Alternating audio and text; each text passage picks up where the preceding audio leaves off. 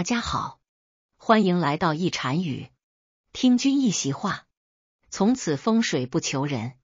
今天要给大家分享的是，当你霉运缠身时，在脖子上戴一物，既消灾又能长福报。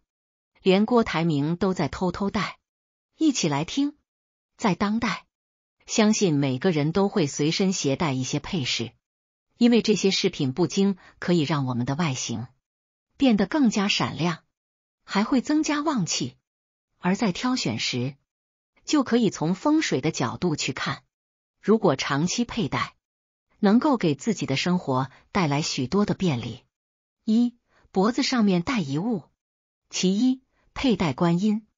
若是想要通过脖子上挂的配件来提升运气，那可以挑选佩戴观音像。观音本身就能够影响到人的运势。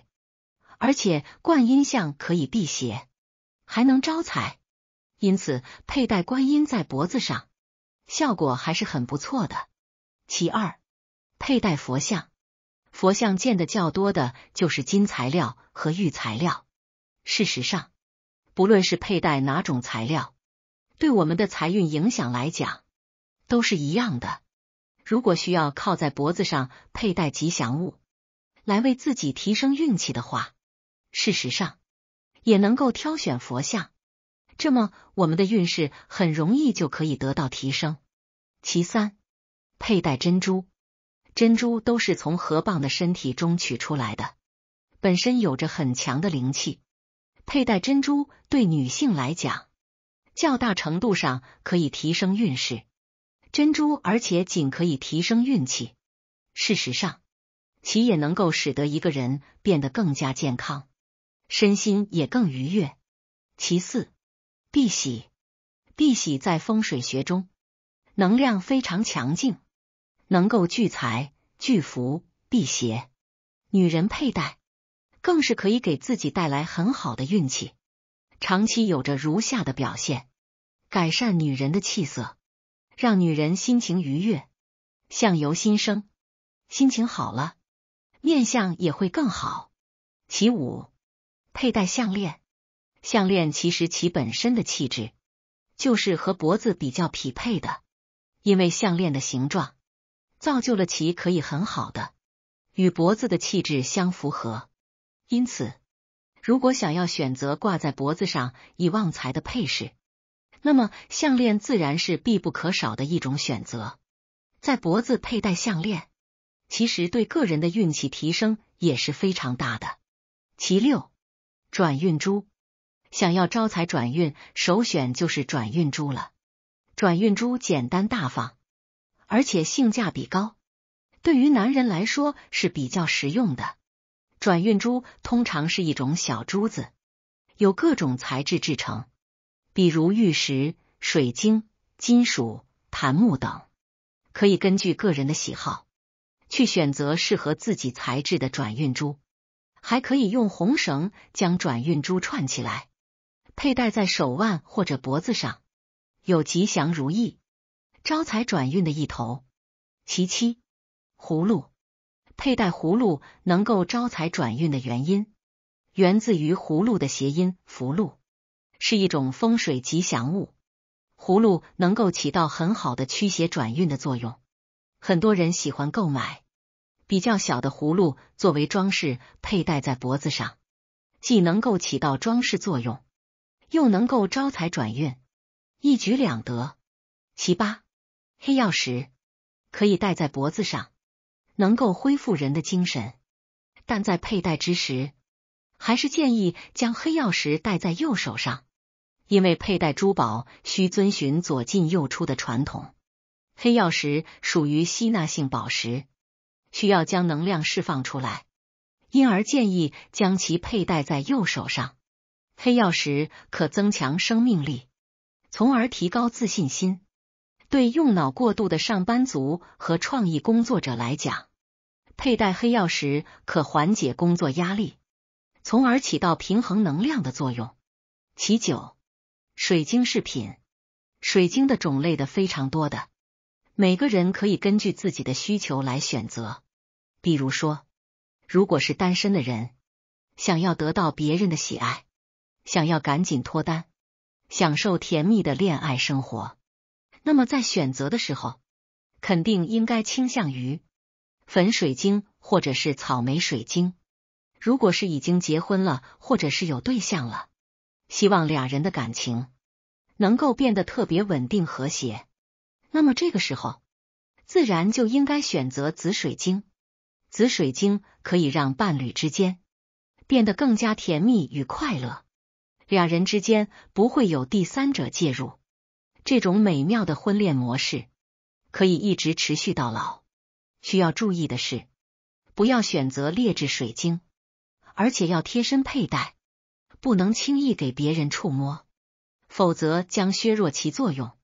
其实，狗牙传说中，狗可以驱鬼辟邪，尤其是黑狗，而狗牙具有安神护身的作用。狗的嗅觉很强，不只是我们能了解的味道，甚至于一些人类记忆中不存在的味道，它们也能闻到，例如鬼怪的味道。就是因为它本身有那些锋利的牙齿，具有辟邪的效果，因此在民间有良多的人喜欢收集狗牙，用之来做成狗牙手链，或者是狗牙项链等等，佩戴在身上，用来辟邪。戴狗牙的好处是可以作为装饰吊坠戴在脖子上，另外狗牙是不会掉色的，并且形状是小巧的。戴上比较好看，有些人可能会选择在脖子上戴黄金首饰，其实这当中也大有学问。一般来说，黄金不仅有美观的作用，还有着抗氧化的功效，能够抑制人体产生的过氧化物以及自由基。这样做就可以减少有害物质的侵袭，可以延缓衰老，让皮肤白白嫩嫩的。并且从风水的角度去看，佩戴黄金首饰还可以辟邪转运。但是风水大师说了，也不是所有人都能戴，有五种人千万不要戴，不然这灾厄缠身，会一直倒霉。这五类人千万不能带黄金。这第一类就是五行属金人不能带黄金，因为这类人本身就自带财气。而且气运很旺，正如《易经》所说：“干为天，为玉为金。”《易经》认为这类属相的人因禀天志，所以心胸宽广，富有远见，稳重自持，组织力强，有领导者素质。还有《易经》所说：“干为君，干为父，干为首，大哉干云，万物滋始乃统天。”所以。此类人大多宽额，有将相风度，胸心广阔如天空。他们大多阴阳偏于平衡，既不外向，也不内向，不亢不卑，态度适中。因此，他们的性格独立，自强不息，自尊心也很强。这种人能当官，也能够发财。所以，一旦这个时候戴黄金了，就会有反效果。黄金相当于钱财，如果五行属金人再佩戴一些黄金饰品，就属于火上浇油，火势过旺，物极必反，本身具有的财气就会受到极大的负面影响，轻则资金流失，重则倾家荡产。所以，五行属金人最好不要佩戴黄金饰物，以免影响自身财运。因为太过贪婪，只会一无所有。第二类是五行属木人，这类人自身蕴藏着健康之气，但金克木，如果五行属木人佩戴黄金，会造成健康之气紊乱，进而影响到五行属木人的身体状况，非常不吉利。佩戴时间越长，大大小小的疾病就都会不断找上门来，生活难以继续。运气也大打折扣，所以五行属木人也不适合佩戴黄金，容易给自己招来疾病，需要注意。第三类对金属过敏的人，这类人是最不适合佩戴黄金的，过敏反应不容小觑。轻则出现皮肤问题，重则过敏死亡。据调查，世上每一百万人就有一个因为金属而导致过敏。最常见的致敏金属是镍，珠宝也是主要的过敏源。一旦发生过敏，即可引起接触周围的皮肤红肿、瘙痒、淌黄水等接触性皮炎的表现。在日常生活中，合金制品中很多都包含了镍，如硬币、各种合金制品、电镀物件、眼镜架、金属制的手表带、皮带扣。人造首饰等等，直接和皮肤接触都会让敏感的人出现过敏。因此，如果本就对金属过敏，还要佩戴黄金，那只能是主动惹祸上身，不仅大大影响自己的身体健康，黄金也不能发挥其应有的运势功效，对佩戴者来说百害而无一利。所以，金属过敏的人。一定不能抱着侥幸心理佩戴黄金，要为了自己的生命安全着想。第四类是视力障碍患者，如果有视力障碍患者的人，是不适合佩戴黄金饰物的。视力有障碍的人，大多肝脏有一定损伤，如果再佩戴上一些黄金饰物，必定会造成肝脏的进一步受损，身体受到更大的伤害，不仅影响内脏。视力可能也会不断出现问题，因此，对于视力障碍患者的人来说，也是不能轻易佩戴黄金饰物的，否则会酿成不可估量的后果。第四类就是运动员，这类人也不适合佩戴黄金，有着三个原因。首先就是人的皮肤对重金属有一定吸收能力。当然，一般情况下，这种吸收能力相当低，因为在污染地区，人对重金属的吸收主要通过呼吸和食道吸收；但在较长时间范围内，皮肤对重金属的吸收可能会达到一定数量。其次是运动时大量出汗，可能会促进重金属通过皮肤的吸收。运动时大量出汗。而人的汗液是一种弱酸性液体，与中性的水相比，这种弱酸性的汗液会促进重金属的溶解。汗液中含有钠、钾、钙、镁等金属的盐，盐溶液与纯水相比，对金属的腐蚀性更强，就会大大缩短黄金的使用寿命，对自身运势来说也是不吉利的。另外，运动员在剧烈运动的过程中，身体也会剧烈晃动，首饰很容易掉。二、戴金首饰有什么讲究？很多人佩戴金首饰是为了展现自己的富裕和气质，给人一种财大气粗的感觉。但是如果不注重戴金首饰的风水问题，人们就很容易倒霉，沾染霉运。因此，戴金首饰要注意的第一个，就是要对金属首饰进行保养清洗。黄金首饰一旦佩戴时间长的话，会发现上面出现了污垢，一次需要定时进行清洗，妥善保养，才可以让黄金首饰始终光亮如新，延长黄金首饰佩戴寿命。黄金首饰与其他珠宝首饰一样。只要沾上人体分泌的油脂和汗酸，便会失去光亮。因此，佩戴的首饰最好至少每个月清洗一次，要让首饰外表保持干净才行。第二个，最好戴在左手上。有很多人在选择戴金镯子和金手链的时候，都是不分左右手，一般随心情戴。实际上，在珠宝首饰上面佩戴是很有讲究的。首先，按照咱们传统的说法，左进右出，所以黄金首饰是适合戴在左边的。就从实际的角度来看，手镯也适合戴在左手上。一方面，左手长得比右手好看，所以戴在左手能够获取更好的装饰性。所以，一般的情况下。黄金的手镯是应该佩戴在左手，毕竟右手要经常的干活。若是右手若是常戴黄金首饰，很容易磨损，佩戴在左手会是比较好的决定。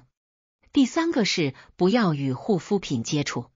黄金虽然不像白银那样会越戴越黑，但是不可以和一些化学物质接触。像很多女人经常的会在手上涂抹一些护手霜，护手霜里面有一些成分。很容易和黄金的首饰发生化学反应，造成黄金手镯的腐蚀和氧化，并且有很多的女人喜欢金银首饰同戴，把金手镯和银手镯一起戴在自己的手上，这样真的是很错误的方法，会导致的手镯之间的磨损和腐蚀。第四个要注意的是，洗澡的时候不要戴。我们平时在洗澡的时候。没有取下黄金首饰的习惯，觉得太麻烦了，一般都会一直戴着，也可能是忘记取了。我们在洗澡的时候佩戴黄金首饰，这个习惯很不好，因为在洗澡的时候难免用到沐浴露、洗发水等，这些都比较润滑，很容易使首饰滑落，特别是戒指。戒指比较小，掉地上再不小心掉进下水道就可惜了。同样，如果你带了去洗澡，洗浴产品里的化学成分也对黄金首饰有害，容易使首饰表面变颜色，变得没有光泽，长时间对黄金的价值也会有影响。随着时代的发展，已经有越来越多人选择金饰，除了对身体方面有好处。戴黄金饰品的好处还表现在驱邪镇静方面。常看到有些人给儿童配搭黄金佛、黄金转运珠等等，据说这样有保平安的作用，特别是在本命年佩戴，更能逢凶化吉。也可以看出人们对黄金赋予的美好寓意。因此，在面对金首饰时，不该戴的不要戴。要遵守相关的禁忌，这样才会驱除身边的厄运，自己也会越来越幸运。但如果不重视，很有可能会倒霉一生，一定要小心了。如何增加福报呢？大家都想要做一个有福报的人，所以就想着要调节自己的风水。其实这些只会阻挡一部分的气场，归根到底。积累福德还需要从自身做起，两者结合能够给自己增加福报。如果风水好了，自己的心是混乱的，这样就不利于福气聚集。与善者为友，就是多多和善人交朋友。那么，什么才是善人呢？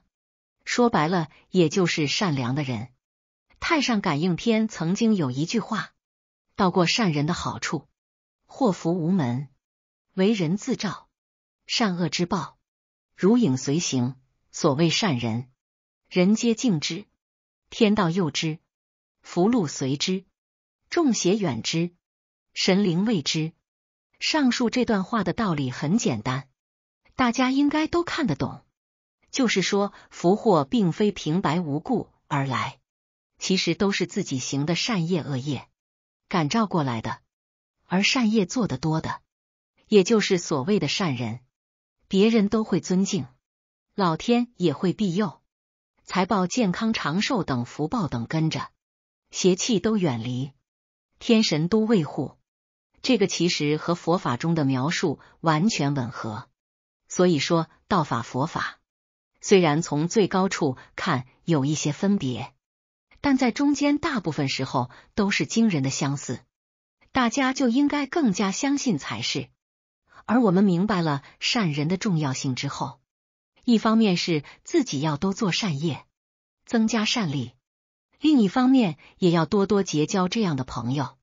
毕竟我们大部分人的业障很深，恶习也很重。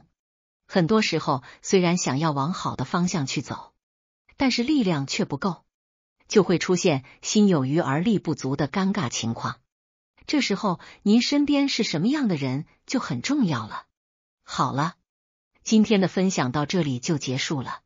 如果您对本期视频感兴趣的话，点击右下角订阅我吧。每日为您分享更多风水信息，我们下期再见。